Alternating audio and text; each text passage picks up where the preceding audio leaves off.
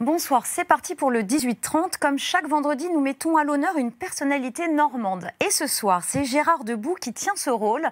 Il est engagé pour protéger les oiseaux de Normandie ou de passage dans notre région.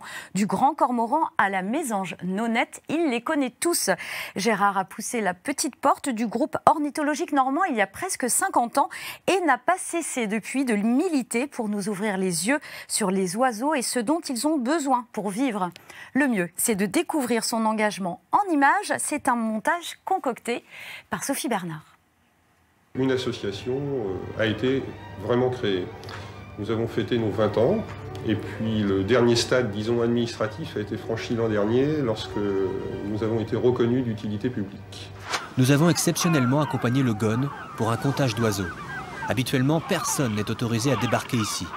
L'île est classée réserve ornithologique. L'accès y est formellement interdit. Des sourires, révélateurs de bonheur, un calme imperturbable, il se régale, c'est évident. On a des, émetteurs euh, VHF qu'on attache sur la queue de ces cormorans. Et après, on va les suivre avec euh, deux antennes. Ça va nous permettre donc de connaître le lieu de pêche, de savoir aussi euh, le nombre de plongées qu'ils vont effectuer. Ils font jusqu'à 40 km pour aller chercher la nourriture de leurs petits. Ils plongent jusqu'à 10 mètres de profondeur grâce à leur plumage qui prend l'eau et qui leur permet de descendre plus facilement. Un oiseau imperméable, au contraire, remonte tout de suite comme un flotteur. Le GON ne se contente pas d'observer, l'association protège aussi, en gérant 30 réserves naturelles en Normandie. Les 30 couples qui sont là, on peut se dire c'est pas énorme, mais 30 par rapport à 100 000 dans le monde, c'est déjà pas rien. On voit véritablement, surtout au printemps, des oiseaux qui arrivent beaucoup plus tôt, et donc qui euh, vont être fragilisés euh, au niveau justement de, la nidification. On écoute et puis après on va apprendre à les reconnaître et c'est ça le plaisir en fait. Bonsoir Gérard Debout. Bonsoir. Bon, merci d'être là pour eux, pour les oiseaux. Oui. Vous vous êtes vu hein, à travers les années, ça fait presque 50 ans que vous êtes sur le terrain. Oui, et vous à continuez. peu près, oui, exactement. Bon, vous êtes un excellent médiateur, hein, vous les connaissez par cœur, ces oiseaux. C'est important euh, de continuer à informer euh, pour nous aider à ouvrir les yeux Exactement, parce que il faut connaître pour ne pas vivre, entre guillemets, idiot, au milieu d'un environnement qui, euh, pour certaines personnes, est, tout à fait banal. Mais si on ouvre les yeux, si on ouvre un peu les oreilles, on découvre qu'à notre porte, voire à quelques kilomètres. il y a des choses merveilleuses à découvrir. Euh, j'ai appris un mot hein, en préparant cette interview. Avifaune, euh, l'ensemble des oiseaux d'une région. Alors, elle est riche en Normandie, euh, cette avifaune? Oui, elle était plutôt méconnue. Et le groupe ornithologique normand a quand même beaucoup œuvré au cours de ces 50 ans. On a appris à les découvrir nous-mêmes et à les faire connaître à une partie des Normands, et puis aussi à l'extérieur. Ce qui fait que la Normandie, maintenant, n'est pas une terre inconnue pour le monde de l'ornithologie. Vous, vous avez poussé la porte, euh, donc il y a à peu près 50 ans, euh, voilà, de l'association euh, par intérêt pour la nature. Vous étiez professeur de sciences et vie de la Terre. c'était quoi votre envie à ce moment-là de, de, rencontrer d'autres personnes intéressées? Oui, c'était de découvrir avec d'autres, puisqu'il y a des observateurs au sein du groupe ornithologique normand extrêmement compétents qui ne demandent qu'à faire partager leurs connaissances et leurs passions. Et donc, euh, il faut profiter de cette offre euh, qui finalement est plutôt rare. Hein. Et une fois qu'on a mis le pied à l'étrier, ben, évidemment. Euh, C'est difficile d'arrêter. Exactement. On observe, on découvre, on se dit tiens c'est quand même embêtant de voir ce petit marais disparaître sous nos yeux et, ne rien faire. Donc voilà, c'est un, engrenage. Il faut accepter d'être pris dans l'engrenage. Parce que vous avez compris que c'est aux citoyens de se mobiliser, sinon personne ne le fait, quoi. Exactement, oui, oui. Alors bon, euh, ça peut être prétentieux, hein. mais je suis sincèrement convaincu que c'est à chacun de faire quelque chose. On ne peut pas tout faire, on peut parfois se reposer sur d'autres, mais il y a un moment, il faut quand même, on est au pied du mur, il faut faire quelque chose. Alors vous, vous avez agi concrètement, donc par exemple, parlons des, bah, des espaces dédiés, des espaces naturels justement pour les sauvegarder. Pour ça, euh, c'est une fierté. Il y en a 26, je crois, dans la région Oui, tout à fait. Euh, ce sont des lieux, là on voit par exemple Saint-Marcouf, hein. ce sont des lieux qui étaient absolument, qu'il était indispensable de protéger. Quand, avant moi, hein, en 1967, avant même que l'association ne soit créée, les ornithologues de l'époque ont découvert que les 15 malheureux couples de grands cormorans n'avaient pas un seul jeune. S'ils n'avaient pas créé cette réserve, la colonie aurait disparu.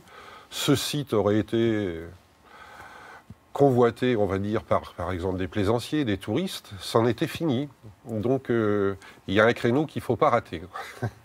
Les cigognes, les cigognes blanches aussi, qui ont fait leur retour Exactement. Euh, tout au long, probablement, des siècles précédents, euh, jusque dans les années 70, des cigognes ont cherché à s'implanter en Normandie. Malheureusement, on les accueillait mal.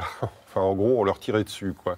Ce qui fait que les implantations, euh, ben, elles ne pouvaient pas se produire. Et donc, à la fin des années 70, il y avait quand même un début de prise de conscience.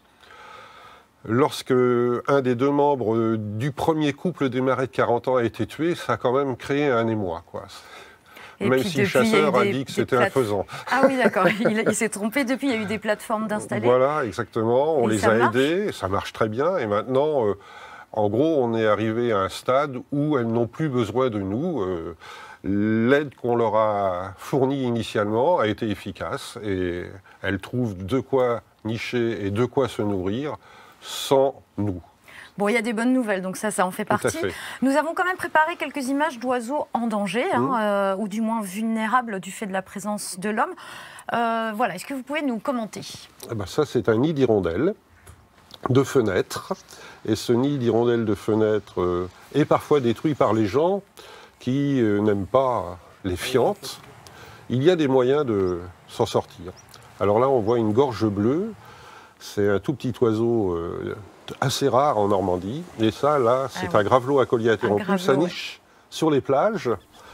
Et les gens ne se rendent pas compte qu'ils ont des gravelots Et on, on ne voit et- pas les œufs et on dans voit sable. pas les œufs Ouais. et on voit même pas les oiseaux parce que nous avons vu des poussins de gravelots courir entre les jambes des baigneurs et je peux vous assurer que les baigneurs ne se rendaient absolument pas compte du spectacle.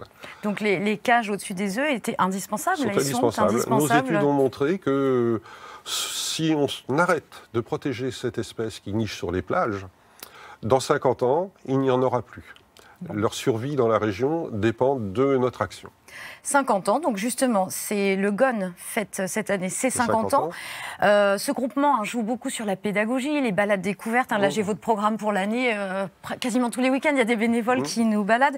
Et depuis 10 ans aussi, il organise le comptage des oiseaux de nos jardins. Est-ce que ça permet aussi d'impliquer plus de monde et justement de nous ouvrir les, les yeux et les oreilles? Exactement, c'est le but. C'est le but de sensibiliser les oiseaux, on peut les découvrir chez soi. Et avec les enfants Et avec les enfants, c'est encore mieux. Et il n'y a pas besoin d'aller à l'autre bout du monde. On peut voir un beau spectacle chez soi, derrière sa fenêtre. Et ça concerne de plus en plus de monde. hein. Il y a maintenant, euh, fin janvier, des milliers de Normands qui regardent pendant une journée les oiseaux qui sont chez eux et qui nous envoient leurs informations. Le confinement a peut-être aidé, non? Euh, il a sans doute aidé, mais ça a commencé bien, à bien se développer et, et ça l'a aidé assurément. Oui. Euh, Dans quelques jours sortira un atlas. Oui. Euh, tous les 15 ans, voilà, vous ressortez un atlas. C'est vraiment un travail fait par les bénévoles, il faut Mm. vraiment le redire. Des milliers de, de photos hein, qui ont été sélectionnées, euh, et surtout des milliers de kilomètres qu'il Des a fallu milliers de faire. kilomètres, oui, pour aller voir les oiseaux. et dans chaque. c'est des petits carrés de 10 km sur 10, donc toute la Normandie est couverte. Et on va vérifier quels sont les oiseaux qui passent l'hiver dans chacun de ces petits carrés et quels sont les oiseaux qui nichent dans chacun de ces petits carrés. Donc le livre qui va sortir va montrer la répartition de toutes ces espèces et le commentaire, puisqu'il faut commenter bien sûr, euh, bah, va indiquer combien il y en a, euh, comment ils se portent, dans quel milieu on les trouve, etc. Oui, parce que dans un des reportages, il y a une femme qui dit euh, c'est dommage, on connaît mieux les marques de voitures que le nom des oiseaux qui nous entourent. Oui. C'est vraiment ça, euh, le, le quoi. C'est vraiment aussi euh, faire que l'info passe pour qu'on soit plus à les Par exemple, là, c'est ce qu'on voit sur une plage. Ça, c'est ce qu'on voit dans une prairie, dans un marais. Ça, c'est ce qu'on peut voir de- d'une route. Voilà un jeune héron, par exemple, extraordinaire quand même. Les photos sont super. Euh, donc je le rappelle, vous êtes un millier, mais les portes sont grandes ouvertes. Alors il y a des petites cartes de sympathisants, voilà, Voilà. c'est 5 euros, et vous avez évidemment besoin que les gens se mobilisent. Exactement. Eh bien merci beaucoup, merci.